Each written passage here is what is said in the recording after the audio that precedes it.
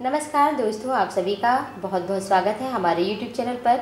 आइए हम सभी चलते हैं स्वप्न की खूबसूरत यात्रा पर और जानते हैं आज की वीडियो में स्वप्न में अगर आपने नीम देखा है तो उसका क्या मतलब है। दोस्तों, अगर आपने स्वप्न में नीम देखा है तो आपने चाहे नीम की पत्ती या नीम का पेस्ट या नीम का पेड़, नीम की छाल, जड़, आपने इनको किसी भी अवस्था में देखा है तो ये आपके लिए बहुत ही अच्छा और शुभ परिणाम लेकर आने वाला है।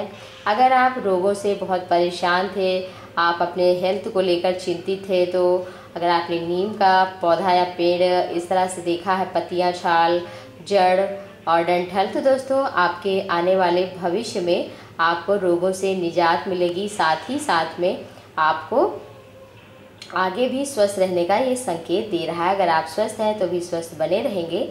सेहत आपकी ख़राब है तो अच्छी होगी, यानी कि आप स्वस्थ होने वाले हैं। तो हेल्थ इज़ वेल्थ आप सभी स्वस्थ रहें, निरोग रहें, खुश रहें। हमारी भी शुभकामना है। दोस्तों, हम नेक्स्ट वीडियो में फिर से मिलेंगे, लेकिन आगे की वीडियोस को देखने के लिए।